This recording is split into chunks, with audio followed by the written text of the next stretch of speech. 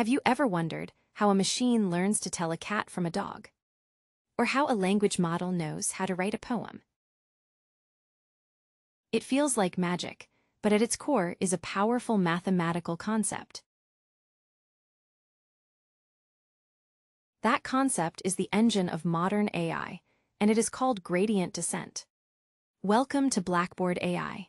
Today, we are going to break down this fundamental algorithm, step by step, right here on the blackboard. Before we get into the how, let's understand the what. The goal of training any AI model is simple, to minimize its error. We want the model's predictions to be as close to the real answers as possible.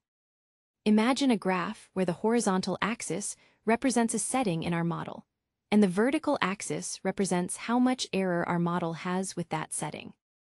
This curve is our cost function. Our goal is to find the parameter w that gives us the lowest possible cost. In other words, we need to find the bottom of this valley. The question is, if we start somewhere on this curve, how do we know which way to go to get to the bottom? Let's use an analogy. Imagine you are a hiker, standing on the side of a mountain in thick fog.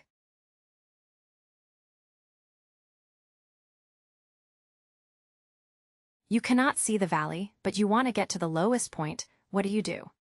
You would probably feel the ground beneath your feet. You would check the steepness, or the slope, of the ground where you are standing. Then, you would take a small step in the steepest downhill direction. You would repeat this process, check the slope, take a step downhill, check the slope, take another step. Eventually, step by step, you would find yourself at the bottom of the valley. This is exactly what gradient descent does. It is a step-by-step -step process to find the minimum of a function. Now, let's translate our hiking analogy into math. In calculus, the tool for finding the slope of a curve at any point is the derivative. The derivative, or the gradient, tells us two things, the steepness of the slope and its direction, uphill or downhill. A positive gradient means the slope is pointing uphill. A negative gradient means it is pointing downhill. Crucially, the gradient always points in the direction of the steepest ascent. But we want to go downhill, to the valley, so we do something very simple. We take the gradient and we move in the opposite direction. So we know the direction, but how big of a step should we take? This is controlled by a parameter we choose, called the learning rate. The learning rate is a small number, like 0.01, it determines the size of our step. If it is too small, our hiker will take forever to reach the valley. If it is too big, our hiker might overshoot the valley and end up on the other side, or even go further uphill. A good learning rate takes confident, well-paced steps to the bottom. Putting it all together gives us the gradient descent update rule. It looks like this. Let's break it down. Our new parameter position is equal to our old position.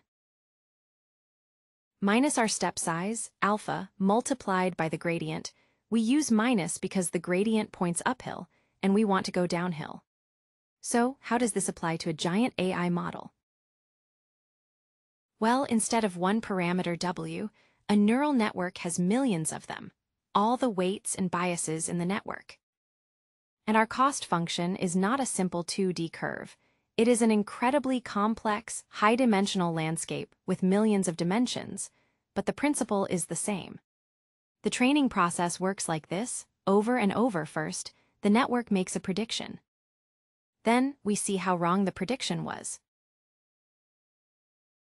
This is the magic we use calculus to efficiently calculate the gradient for every single one of the millions of parameters in the network.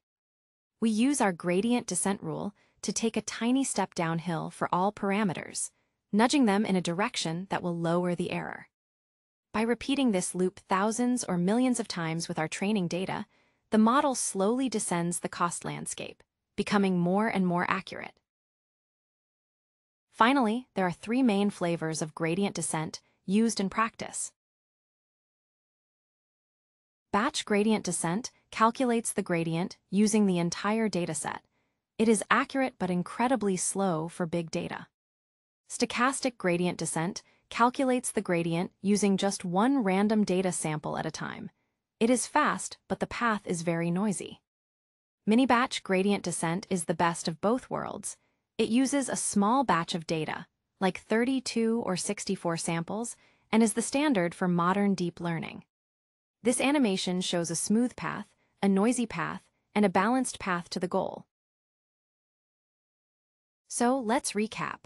Gradient descent is an optimization algorithm that finds the minimum of a function. Its goal is to minimize a cost function, which means reducing error. Its tool is the gradient, which is the direction of steepest ascent. Its action is to take steps in the opposite direction of the gradient. And its control is the learning rate, which is the size of the step.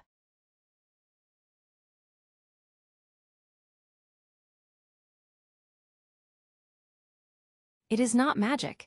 It is an elegant, iterative process of making small adjustments, guided by mathematics to make AI models learn.